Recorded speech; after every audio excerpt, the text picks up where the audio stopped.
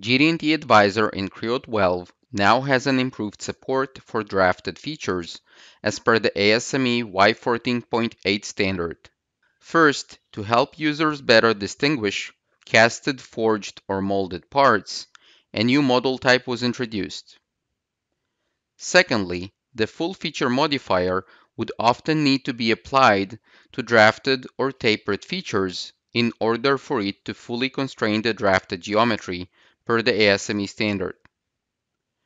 This new modifier is now available from the Details tab and from the Feature dashboard. After I have added this modifier, the feature becomes fully constrained.